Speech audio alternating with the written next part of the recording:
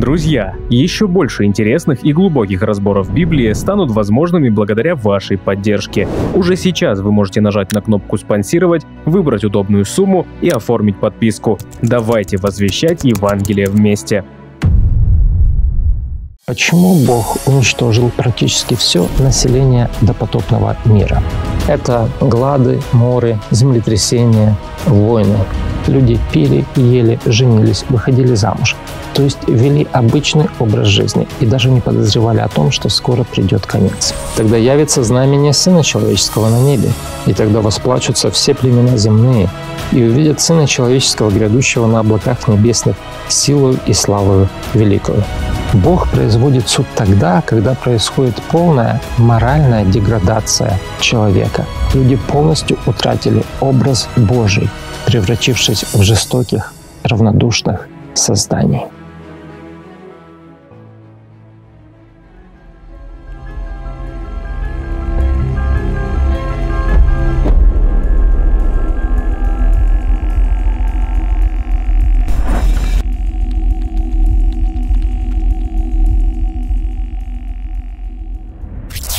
Сегодня мы поговорим о признаках второго пришествия.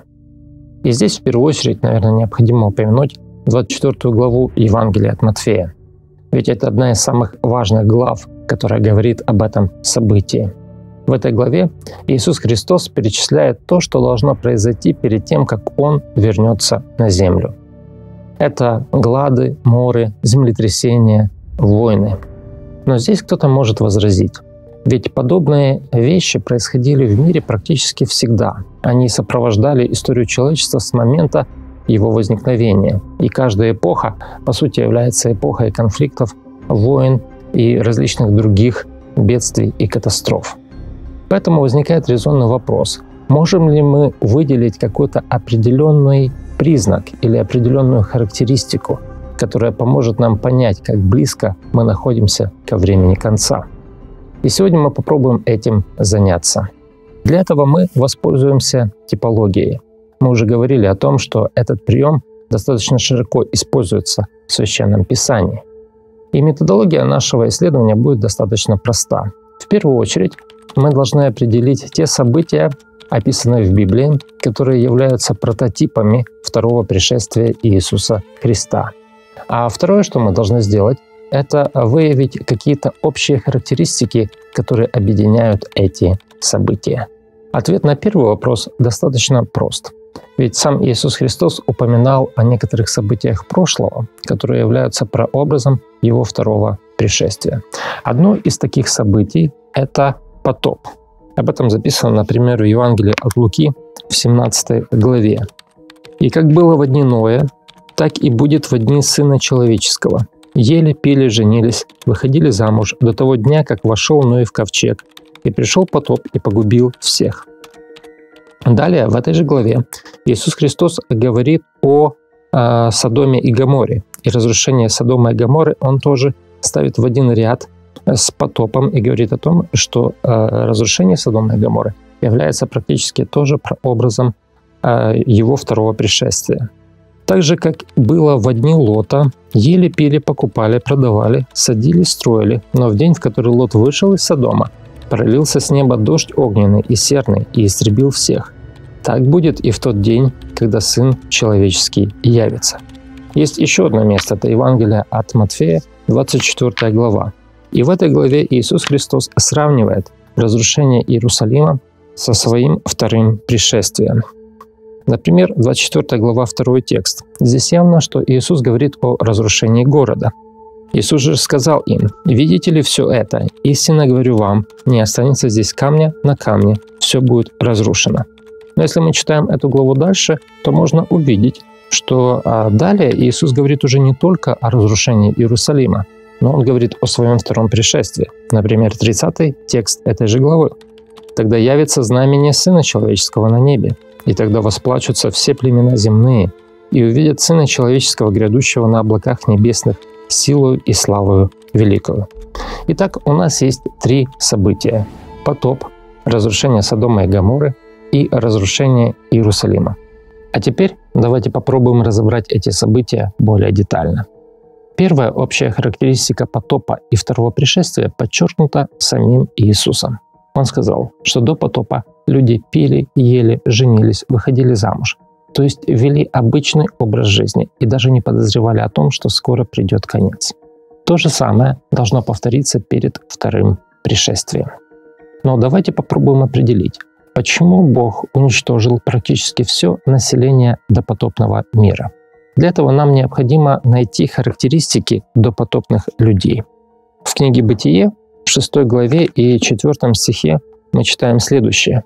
«В то время были на земле исполины, особенно же с того времени, как сыны Божии стали входить к дочерям человеческим, и они стали рождать им. Это сильные, издревле славные люди». Здесь Библия дает нам две характеристики допотопных людей. Это сильные, издревле славные люди. На первый взгляд эти характеристики кажутся положительными, но на самом деле это далеко не так.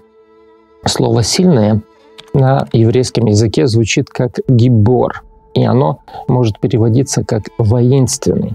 Другими словами, люди до потопного мира были воинственными людьми. Они убивали друг друга. Подтверждение этому мы можем найти также в «Бытие» 9 главе.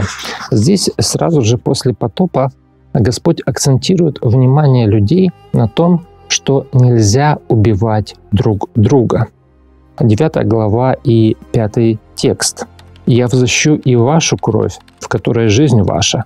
Взыщу ее от всякого зверя. Взыщу также душу человека от руки человека, от руки брата его».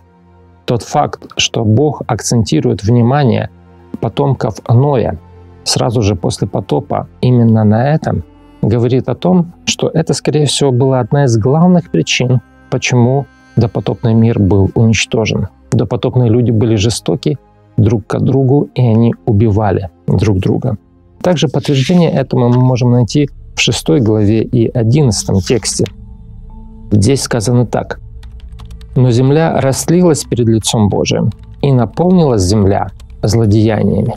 Слово «злодеяние» — это еврейское слово «хамас», которое лучше перевести как «насилие». Земля наполнилась насилием. Итак, мы видим, что все это говорит о том, что люди до потопа были очень жестокими людьми. Люди до потопа убивали друг друга. Другая характеристика допотопных людей – издревле славные люди. И это тоже не положительная характеристика. Э, еврейская фраза, если перевести ее дословно, э, будет звучать так. Это люди имени, и она указывает на гордость.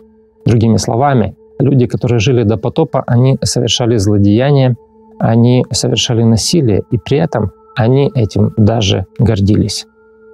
Насилие и грех для них стали нормой, стали чем-то привычным. Также 6 глава и 12 стих говорит о том, что практически все люди на земле извратили свой путь, то есть они полностью испортились. «И возрел Бог на землю, и вот она растленна, ибо всякая плоть извратила путь свой на земле».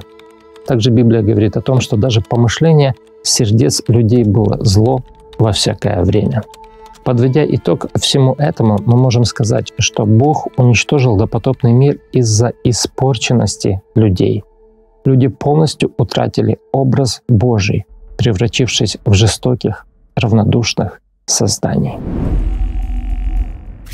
А теперь давайте рассмотрим случай Содома и Гаморы. На первый взгляд, причина, почему Бог уничтожил эти города, достаточно очевидна. Из-за моральной и сексуальной распущенности их жителей. И это действительно так. Но это далеко не все. Библия предоставляет нам много других характеристик жителей этих городов. Давайте прочитаем, например, книгу пророка Иезекииля, 16 глава и 49 текст. «Вот в чем было беззаконие Содома, сестры твоей, и дочери ее, в гордости, пресыщении и праздности, и она руки бедного и нищего не поддерживала. Иезекииль подчеркивает, что грех Содома заключался в том, что они были жестокими по отношению к своим ближним, жестокими и равнодушными. А также пророк Иеремия сравнивает жителей современного ему Иерусалима жителями Содома и Гаморы. И он э, говорит следующее. «Но в пророках Иерусалима вижу ужасное. Они прелюбодействуют и ходят во лжи, и поддерживают руки злодеев, чтобы никто не обращался от своего нечестия. Все они предо мною, как Содом, и жители его, как Гамора».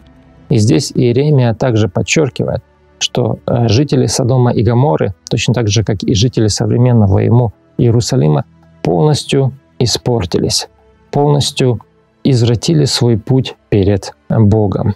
Еще одну характеристику мы можем найти в книге пророка Исаии, 3 глава и 9 текст. И здесь Исаия говорит, «Выражение лиц их свидетельствует против них, и о грехе своем они рассказывают открыто, как садомляне, не скрывают. Горе душе их, ибо сами на себя навлекают зло. Здесь пророк Исаия подчеркивает, что для жителей Содома грех стал нормой. Они открыто говорят об этом и даже гордятся своим грехом. Итак, мы видим, что характеристики жителей Содома и характеристики допотопных людей очень сильно похожи. И здесь мы можем увидеть некоторую важную закономерность. Бог производит суд тогда, когда происходит полная моральная деградация человека, которая выражается в том, что люди становятся жестокими и равнодушными к своим ближним. А теперь давайте рассмотрим еще одну типологию. Разрушение Иерусалима и второе пришествие. Почему Господь допустил, что его храм и его город были разрушены в 70 году? Ответ на этот вопрос мы можем найти в 23 главе Евангелия от Матфея. Эта глава повествует о той речи, которую произнес Иисус сразу после того, как последний раз покинул храм. И в этой речи он произносит известное «горе вам, книжники и фарисеи». И именно книжники и фарисеи были теми людьми, которые в конце концов привели к разрушению Иерусалима и разрушению храма. И характеризуя книжников и фарисеев, он говорит следующее. «Горе вам, книжники и фарисеи, лицемеры, что поедаете домы вдов и лицемерно долго молитесь». В 23 тексте «Горе вам, книжники и фарисеи, лицемеры, что даете десятину смяты, аниса и тмина, и оставили важнейшее в законе – суд, милость и веру». Другими словами, Иисус Христос говорит о том, что книжники и фарисеи были жестокими, по отношению к своим ближним.